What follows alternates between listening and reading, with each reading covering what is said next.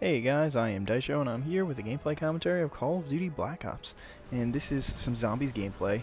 And it's going to be like the last zombies that I uploaded, which is pretty much, it's not a live commentary, but I pretty much did some editing and now I'm going back showing you the interesting parts of the zombie game. Unlike the last time where I started from level 35, I am going to start from level 1 this time. So I'm definitely open to any suggestions you have. If you're like, yo Daisho, why did you show me this? Or why did you show me this? This was really boring. Then I'm definitely inclined to uh, try to change it for the better next time.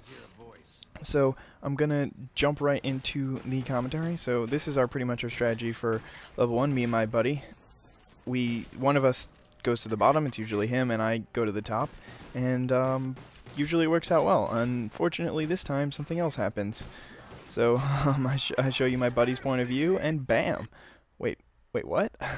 what? He just died on on round one. So just gonna slow that down for you guys. Bam, bam, bam. He's killing some zombies, misses the knife, and goes in for the next one. And both zombies punch him in the face. And if you've ever been punched by a zombie in the face, then you'll know it's really, it's just not a fun experience. So me, like a good friend, wait to uh, murder all the zombies and steal all his points before I go rescue him. So I mean, that's just that's just the way I'm gonna roll. But anyway, I'm gonna skip ahead. Round two is basically the same thing as round one. We pretty much just shoot some zombies and whatever. And uh, we're both out of ammo, pretty much, or at least I am. He has eight bullets left. So we decide to move on to the next room. And for some reason, the way we've always gone ever done on Ascension is we go uh, downstairs and we go to the room with the MPL, and then one of us stays down and kills all the zombies spawning in this room, and oh, I just get really scared of this spinning thing. And I'm just like hiding in a corner in a fetal position, just like, no, don't shoot me, don't shoot me. But anyway, um, I grab the MPL, and uh, my friend's about to do the same. But usually what happens is one of us guards the bottom, and one of us guards the upstairs, and it, it works out really well. The person on the bottom usually ends up getting more kills, though, and more zombies near him. So my friend is going to be, he's to be really nice, and he's going to steal all the zombie kills right here. Um, but that's only because I'm like, I call bottom. yeah, that's kind of gay, but whatever. Um, that's just it's just how how it works in zombies. You got to be a little gay sometimes. So anyway, I am killing all the zombies. We're just group killing zombies, um, and I mean that's pretty much just the way this round's gonna go. Um, we usually stay here until round five or so and I think uh, in just a second I'm going to fast forward to the end of that and then show you the next part of our strategy. Um, hold on, hold on, and there we go. So um, now we are towards the end of round 5 where I kind of make a mistake and um, once I get a max ammo I'm like, oh, I'll reload my pistol and then I start using my pistol to shoot and now uh, the zombies are kind of gaining on me. So, um, like a stupid person, I stop reloading and throw a grenade and then run into the grenade.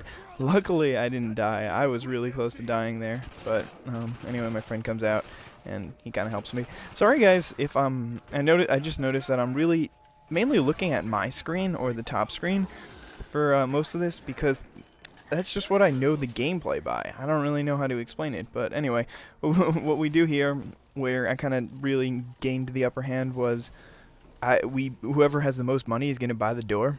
So I, I ran and bought the first door, and then I'm like, sorry, bro, you gotta buy the next door, even though I only had 10 more points than him or something like, or 10 less points than him or something. Uh, but anyway, we usually like to stay here a little bit so that we can both grab, get a chance in the box. But and it it almost always works out pretty well. But this situation was definitely definitely not the best, as you'll see in just a second. Um, what what actually happens? But anyway, I'm gonna gonna go for the box and grab an HS10. I we both like to keep our pistols because. Um, if any of you don't know, the best, be really the best thing to use, or one of the best guns in the game, other than the Thunder Gun, um, is the Mustang and Sally, since they're both they're really strong in there. My friend gets downed, unfortunately, but Mustang and Sally are really really strong. And I'm just, I mean, I'm just gonna switch to my perspective since my friend is just on the ground shooting and stabbing some zombies. But um, anyway, I run away because I'm, I'm a little scared because there's like 400. My friend told me there's like 10 zombies running up the stairs, bro. You gotta get out of there. Um, but anyway, um, as I was saying, um, we usually we usually like to keep the Mustang, I mean the pistol, because you can upgrade it. it becomes the Mustang and Sally, and it's really really good on um, on this map because you can uh, get the PhD flopper. And then um, I pick up the death machine and then realize that I can't rescue my teammate uh, before that. I mean, I, I had known that you can't rescue your teammate when you have the death machine, but I didn't really think of how it would apply. So he actually uh, doesn't doesn't just get downed, but he actually dies because of that.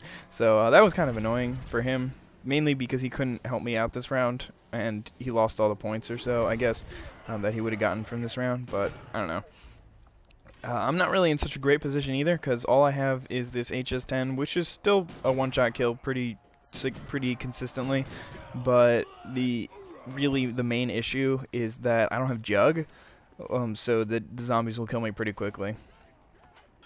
Um, anyway, I mean, I'm just gonna basically back into this corner, and this is this is really the best, one of the two best places, in my opinion, to hang out on this map in general.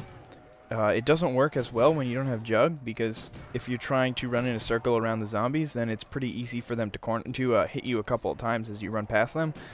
But um, luckily, I got this uh, max ammo. I don't know if I actually would have been able to survive this round had I not gotten that max ammo. So that was definitely pretty lucky. But um, this this uh, segment is coming to this segment of the video is kind of coming to an end. So if you guys enjoyed this, then I don't I don't want you to give me a like. I just want some feedback. I I don't care. You can give me a like if you want.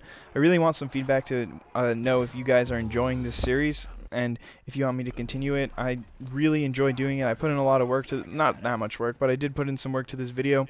And if you appreciate it, then just uh, just let me know. So.